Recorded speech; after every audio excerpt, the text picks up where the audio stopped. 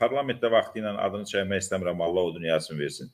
E, deputatlardan biri mən çıxış eləməmişdən əvvəl e, axşamdan çıxışını yazıb, indi güman edib ki, məndən əvvəl çıxışı, sonra çıxış eləyəcək və həmişə adətən mən çıxışda irəli düşürdüm. E, məndən də əvvəl çıxış elədi, e, e, İqbal Ağazadə danışdı, bunu dedi, bunu dedi. Mən sonra çıxış elədim, dedim, bala mən hələ çıxış eləməmişəm. Bunu axşamdan yazmısan, başa düşdüm. Bu bizim bəxtimizdəndir bu.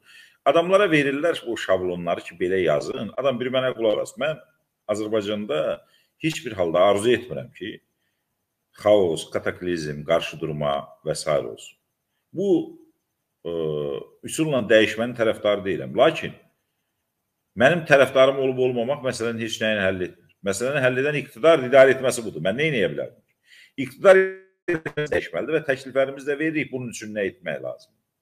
Amma mənim nə deyib deməməyimdən asılı olmayaraq proses bu istiqamətə gedəcəksə, biz çalışacağıq ki, proses konstitusiyon yolla həll olunsun Azərbaycanda hər zaman. Seçki yolu ilə həll olunsun. Dostlar, siz elə bilməyin ki, biz deyəndə, biz xəbərdarlıq edəndə biz Azərbaycanı sevmirik, Azərbaycanın əleyhinəyik. Mən niyə Azərbaycanın əleyhinə olum ki? Nədən Azərbaycan e, mövqeyi mənim üçün əsas aparıcı mövqe olmasın ki? Niyə vətənimin, dövlətimin zəifləməsini istəyim? Əsla. Mən hər şeyi başa düşürəm. Bu momentdə Rusiyanın ə, Qarabağda edə biləcəyini də, Bakıda edə biləcəyini də, İranın edə biləcəyini də, bir başqasının edə biləcəyi də, qrupları da və s. və s.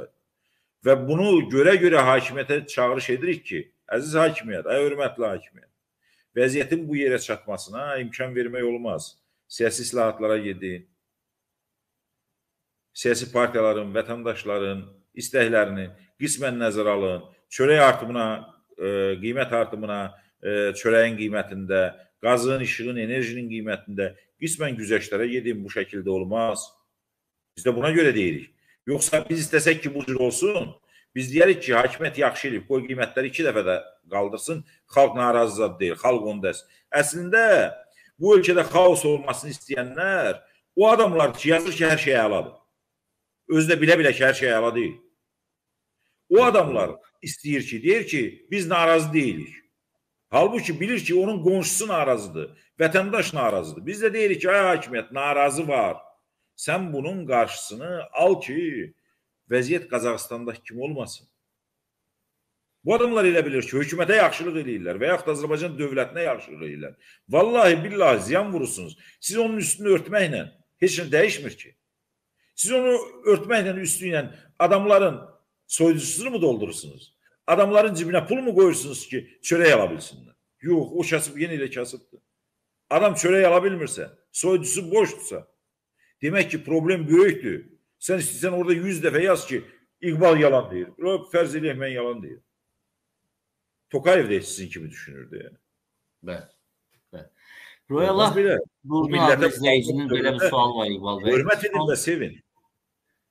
Siz İqbal bəy, sizcə bir insanın hakimiyyətdə qalma müddəti nə qədər olmalıdır? Atadan oğula hakimiyyəti keçməsi demokratiyadır. Lütfən 3 dəqiqə ərzində bunu cavablandırın. Mənə, mənə görə, mənə görə Azərbaycanda ümid hakimiyyəti qurulanda birinci edəcəyimiz konstitusiya komissiyasının yaradılmasıdır.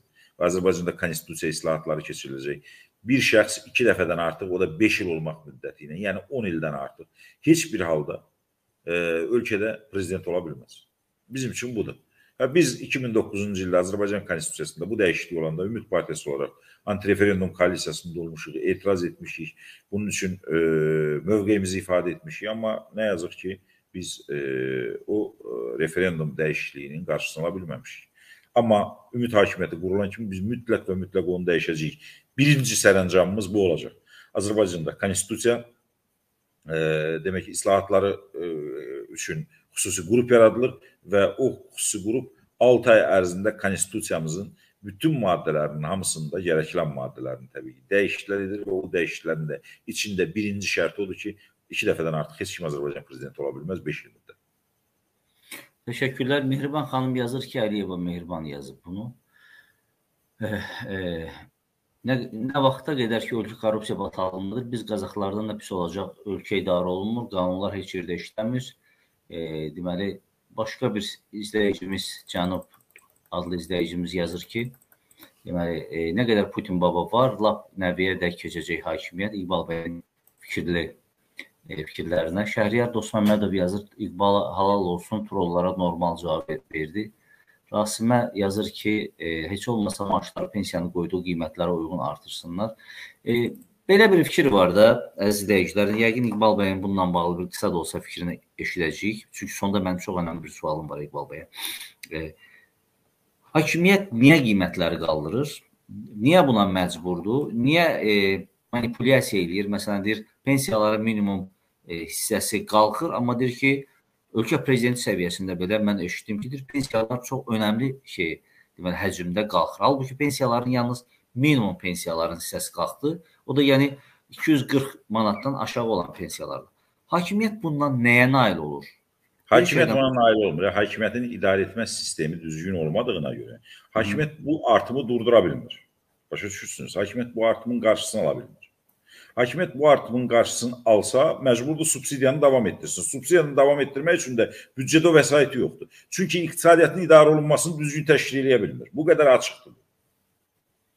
Deyirəm ki, çörəyin qiymətinin qalxmasının tək səbəbi var. Subsidiya verirdi. İndi subsidiya vermir. Subsidiyanı dayandıran kimi qiymət qalxdı. Və əsaslandırmağa çalışır ki, dünya bazarında 53.8 faiz 31.3 faiz illərlə və aylarla fərqində qiymət artımı olub baş verib taxıldı. Baş vermişdi, qiymət niyə qalxırdı? Niyə dayan e, qalxmırdı, dayanırdı? Çünki subsidiya verirdi. Çünki sən zorakılıq yolla bazar idarə etmək istəyirsən. Bazarı zorla idarə etmirlər, dostlar. Ay hörmətli hakimiyyət nümayəndələri. Bazar dəyənəklə idarə olunmur. Sən bunu bu qiymətə sat deyə bilməzsən e, demək e, biznesmenə, iş adamına müəssisə rəhbərinə deyə bilməzsən. Sən sadəcə düzgün rəqabət prinsipinin formalaşdırılmasını və bərabər şəraitin yaradılmasını təşkil etməlisən ki, onun əsasında bazarda tələb və təklif düzgün formalaşsın. Sənin vəzifən bundan ibarətdir, başqa şeydən ibarət deyil. Sən zorən qiyməti qaldır, zorən qiyməti endir deyə bilməzsən kimsəyə. Bəli, son 5 dəqiqəyə daxil olduq İqbal bəy. Təxminən 4 dəqiqəmiz qalıb. E, Rahid bəy israrla deyir mənim sualımı səsləndir. Tapa bilmədim çünki yazılar çox oldu. Zahid bəy də deyir lütfən mənim e, sualımı səsləndir. Zahid Tağıyev. E, mən də onu da tapa bilmirəm burada. Xahiş edirəm səsləndirin yazmırsınız. Amma öz sualım var. Yəqin ki İqbal bəyin e, fikrini eşitmək maraqlı olacaq sizlərə də.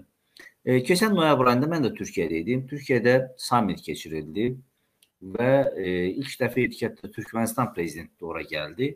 O zaman məndən də soruşdular. Mən belə bir cavab verdim ki, yaxşıdır. Bizim də hər zaman istədiyimiz Türk birliyidir. Amma avtoritar rejimlərdən bu Türk birliyinin formalaşmasına biraz e, olumlu baxa bilmirəm mən. Yəni ümidsiz baxıram. Yəni istəyərdim olsun açığı. Bax, e, bu gün həmin o dediyimiz məsələlərdən biri, yəni avtoritarizmin bir nümunəsini biz Qazaxstanda görürük. Azərbaycanda da aşağı-yuxarı analoji durumdur. Və Qazaxstanda insanlar qətlə yetirilir. Bu Türk birliyi e, deməli sammitə o üzvləri deyək, Türk dövlətləri birliyinə daxil olan ölkələrdən səs səmir çıxmır. Sizcə niyə?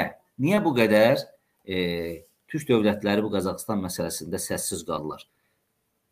Dostlar, qəbul edin ki, Qazaxstan Türk birliyinə müraciət etmir. Qazaxstan, Qazaxstan prezidenti kollektiv təhlükəsizlik müqaviləsi təşkilatına müraciət edir. Türk birliyi nə etməlidir bunda? Biraz da bu məsələlərdə e, biz Türk birliyini, Türk Azərbaycan, Türkiyə və s. günahlandırmaqdan biraz keçək. Hə, bu avtoritar rejimlər və yaxud da demokratik olmayan e, ölkələr özləri yaradacağı birliklərin e, perspektivi nə dərəcədə ola bilər? Bunu mən ilk dəfə sizin efirdə demişəm. Siz mənə bu sualı vermişdiniz xatirinizdə hələ bir neçə e, vaxt bundan əvvəl. Mən də qeyd etmişdim ki, demokratiyaya nail olmadan çox çətindir bu birliklərin effektiv e, birlik olacağını və işləyən birlik olacağını. Çünki hakimiyyət maraqları adətən milli maraqları üstələyir bu tipli şeylərdə və ona görə də keçmək, adlamaq olmur, o leveli keçmək olmur. E, indiki mərhələdə axı Qazaxıstan konkret olaraq Rusiyaya müraciət edib, Belarusiya ilə məsləhətləşib, Rusiya ilə məsləhətləşib, Ermənistanla məsləhətləşib, Tacikistanla məsləhətləşib. Başa düşürsüz? Məsələ bundadır. Bu proseslə bağlı bir mövqe bildirməkdən söhbət gedir İqbal bəy. Yəni müdaxilədən söhbət gedir. Türkiyə Türkiyə müraciət Türkiyə müraciət edib bu məsələ ilə bağlı Putinlə də danışıb. E, demək e, Qazaxıstanın özü ilə də danışıqlar olub bu mərhələdə. Azərbaycanla bu və ya digər şəkildə bizim yenə deyirəm, e, bu istiqamətdə e, imkanlarımızın məhdud olduğunu biz özümüz də bilirik. Bizim edə biləcəyimiz bir şey yoxdur. Devriyədə Rusiya var.